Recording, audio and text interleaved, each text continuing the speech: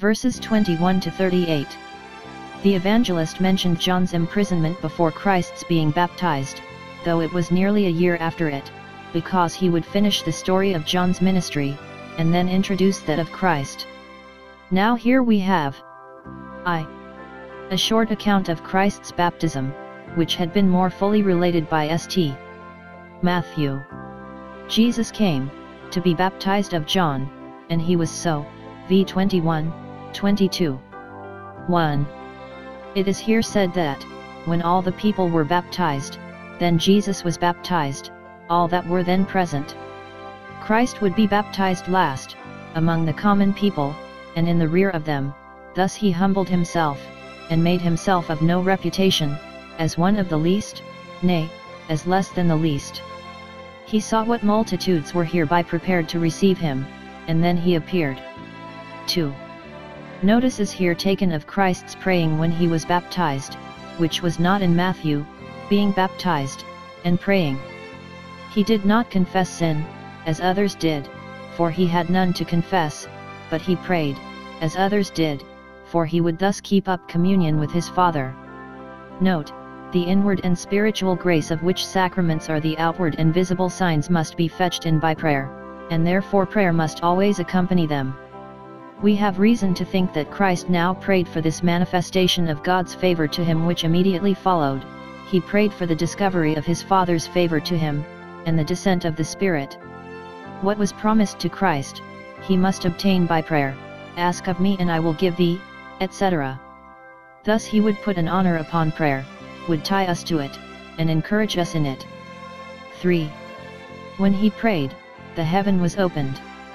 He that by his power parted the waters, to make a way through them to Canaan, now by his power parted the air, another fluid element, to open a correspondence with the heavenly Canaan. Thus was there opened to Christ, and by him to us, a new and living way into the holiest, sin had shut up heaven, but Christ's prayer opened it again. Prayer is an ordinance that opens heaven, knock, and it shall be opened unto you. 4. The Holy Ghost descended in a bodily shape like a dove upon him, our Lord Jesus was now to receive greater measures of the Spirit than before, to qualify him for his prophetical office, ISA 61 1.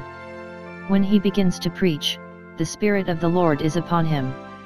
Now this is here expressed by a sensible evidence for his encouragement in his work, and for the satisfaction of John the Baptist, for he was told before that by this sign it should be notified to him which was the Christ. Dr. Lightfoot suggests that the Holy Ghost descended in a bodily shape, that he might be revealed to be a personal substance, and not merely an operation of the Godhead, and thus, saith he, was made a full, clear, and sensible demonstration of the Trinity, at the beginning of the Gospel, and very fitly is this done at Christ's baptism, who was to make the ordinance of baptism a badge of the profession of that faith in the doctrine of the Trinity, Father, Son, and Holy Ghost. 5. There came a voice from heaven, from God the Father, from the excellent glory, so it is expressed, 2 Pt 117, Thou art my beloved Son. Here, and in Mark, it is expressed as spoken to Christ, in Matthew as spoken of him, This is my beloved Son. It comes all to one, it was intended to be a notification to John, and as such was properly expressed by, This is my beloved Son, and likewise an answer to his prayer and so it is most fitly expressed by Thou art. It was foretold concerning the Messiah, I will be his father, and he shall be my son, 2 SA 714. I will make him my firstborn, PS 89 27. It was also foretold that he should be God's elect, in whom his soul delighted, ISA 42 1, and, accordingly, it is here declared, Thou art my beloved Son, in whom I am well pleased. 2. A long account of Christ's pedigree, which had been more briefly related by St. Matthew. Here is 1. His age, he now began to be about 30 years of age. So old Joseph was when he stood before Pharaoh, General 41 46, David when he began to reign, 2 SA 5 4 and at this age the priests were to enter upon the full execution of their office, number 4 colon 3. Dr. Lightfoot thinks that it is plain, by the manner of expression here, that he was just 29 years old complete, and entering upon his 30th year, in the month Tisri, that, after this, he lived three years and a half, and died when he was 32 years and a half old. Three years and a half, the time of Christ's ministry, is a period of time very remarkable in Scripture. Three years and six months the heavens were shut up in Elijah's time, Lu. 425, JAM 517. This was the half week in which the Messiah was to confirm the covenant, Dan 927. This period is expressed in the prophetical writings by a time, times, and half a time, Dan 12 7, Revelation 12 14, and by 42 months, and a thousand two hundred and three score days, Revelation 11 colon 2, 3. It is the time fixed for the witnesses prophesying in sackcloth, in conformity to Christ's preaching in his humiliation just so long. 2. His pedigree, v23, etc. Matthew had given us somewhat of this. He goes no higher than Abraham, but Luke brings it as high as Adam. Matthew designed to show that Christ was the son of Abraham, in whom all the families of the earth are blessed, and that he was heir to the throne of David, and therefore he begins with Abraham, and brings the genealogy down to Jacob, who was the father of Joseph, an heir male of the house of David, but Luke, designing to show that Christ was the seed of the woman, that should break the serpent's head, traces his pedigree upward as high as Adam, and begins it with Eli, or Heli, who was the father, not of Joseph, but of the Virgin Mary. And some suggest that the supply which our translators all along insert here is not right, and that it should not be read which, that is, which Joseph was the son of Heli, but which Jesus, he was the son of Joseph, of Eli, of Matthat, etc., and he, that is, Jesus, was the son of Seth, of Adam, of God. V 38.